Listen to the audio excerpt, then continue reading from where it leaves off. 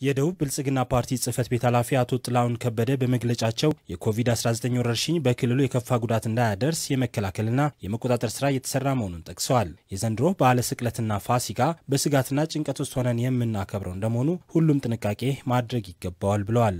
በስቅለት ዕለት በጋራ የምናከብረው በትንሣኤ ዕለትም በጋራ የምናከብረው ማዕድም የምንጋራበትም ስርዓት እና ያ ልምድ ከዚህ ከበሽታ ጋር ተያይዞ ላናካሂድ ወይም ደግሞ ላንፈጽም የግድ ይላል።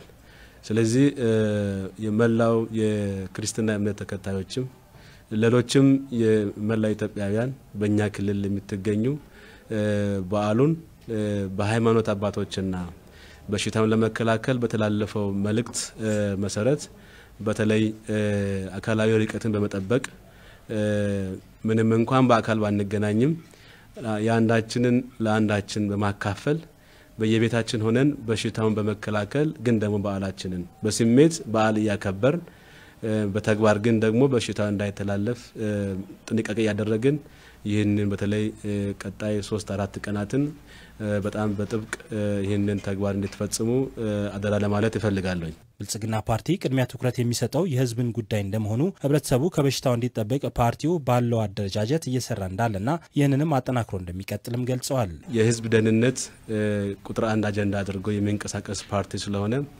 መላው የፓርቲው አመራር በተለይ ከክልል ጀምሮ እስከ ቀበሌ ድረስ ያለው የፓርቲ አመራር የተደራጀ እቅድ አዘጋጅተው ህዝባዊ ንቅናቄ መፍጠር የሚያስችሉ ስልቶችን በመንደፍ እንዲሁም ደግሞ አጠቃላይ ለዚህ በሽታ ክትትል ቁጥጥርና ፈጣን ምላሽ ለመስጠት የሚያስችል አቅም የመፍጠሪያ ታክቲኮችን ነድፎ ህዝብን በማስተባበር ረገድ መላው የፓርቲው አመራር እየተጫወተ ያለው ሚና እጅግ በጣም ጥሩ ስለሆነ ይህንን በጣም አጠናክረን መቀጠል እንደሚያስፈልግ በዚህ አጋጣሚ ጥሬን ለማስተላለፍ ይፈልጋለኝ። አቶ ጥላሁን በመግለጫቸው ለአርሶና አርብቶ አደሩ አሁን ያለው ወቅታዊ ሁኔታ በማስመልከት መልእክታቸውን አስተላልፈዋል። በሽታውን ለመቋቋም ምግብ ያስፈልጋል። ምግብ ደግሞ በዋናነት ከእርሻ ነው ሊመጣ የሚችለው።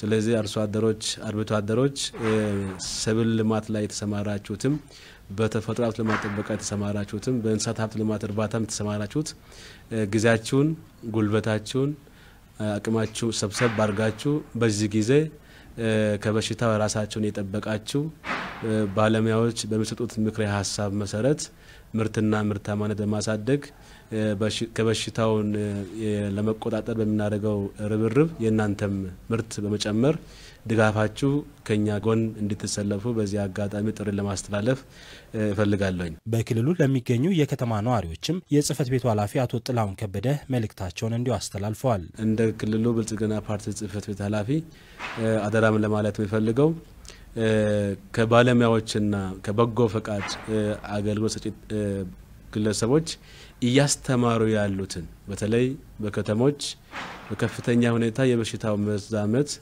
ሊከሰት እንደሚችል ስለሚታወቅ በሽታውን ለመከላከል በተቀመጠው ምክረ ሀሳብ መሰረት በመንቀሳቀስ የበሽታውን ስርጭት ለመከላከል ከመንግስትና ከድርጅት ጎን እንድትሰለፉ አደራ ለማለት እፈልጋለኝ።